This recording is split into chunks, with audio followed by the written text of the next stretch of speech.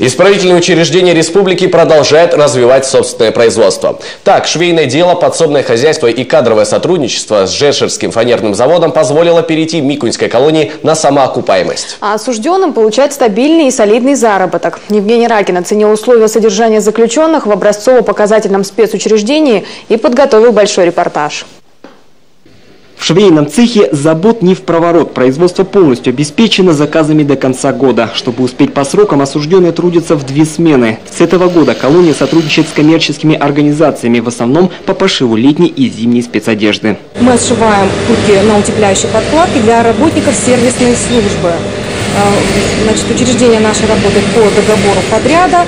Э, это означает то, что заказчик нам дает всю необходимую нормативно-техническую документацию, э, ткани, нитки, фурнитуру, и мы конкретно под этого заказчика изготавливаем данную продукцию.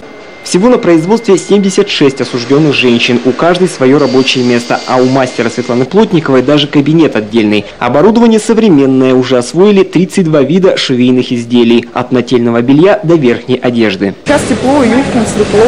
Следим, естественно, за оборудованием. Здесь оборудование все новое, новый закройный цех, новая фабрика. Бытовые условия у нас, видите, наверное, замечательные. Швейный цех открылся в декабре прошлого года в рамках региональной программы укрепления правопорядка и общественной безопасности. Правительство Коми выделило на него около 11 миллионов рублей. Швейный цех прибыли в большой, как бы. Конечно, хочется сказать огромное спасибо правительству Республики Коми. Также еще вот с той стороны вы увидите три теплицы. Это тоже по этой же программе были установлены. Они начали функционировать с июня этого года. С июня по ноябрь мы, значит, Э, выращивали там огурцы. А сегодня зеленый лук. Вообще для колонии этот опыт уникальный. Пришлось нанять даже агронома. Но дело доходное. Теплицы покрыты сотовым поликарбонатом, который круглый год обеспечивает хорошую теплоизоляцию и защищает от ультрафиолета. Первый урожай местные овощеводы планируют собрать накануне Нового года. Засадили мы лук в этих трех теплицах. Вот 11 тонн было э, засажено. Э, сорт халцедон. Вот.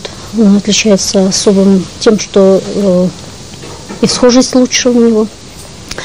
Ну, планируем собрать 4-5 тонн уже зеленого лука.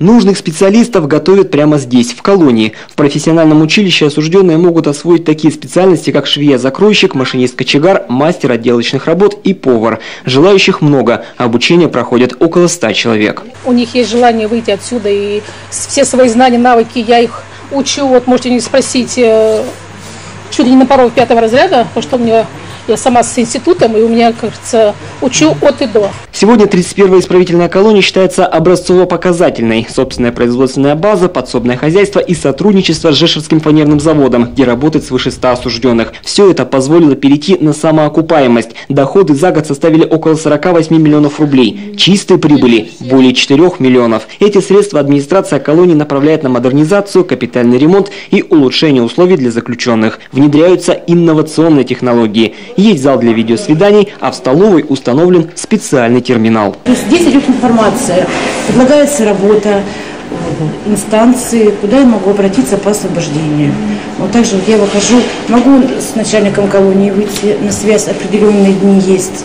Проживают осужденные женщины в двухэтажных деревянных домах. Журналистам показали самые лучшие из них. Здание отремонтировано по европейским стандартам. Заменена кровля, установлены пластиковые окна, стены утеплены и обшиты гипсокартоном. Выполнены электромонтажные работы. Кстати, одна комната отличается улучшенными условиями проживания. Так называемые VIP-апартаменты – стимул для тех, кто хорошо себя ведет. А отвлечься в бескрайний мир свободы можно в библиотеке. На выбор более 8 тысяч книг. Есть даже электронные. Да? Тематика различная. Э, ну, в основном как бы ходовые самые женские романы все-таки про любовь.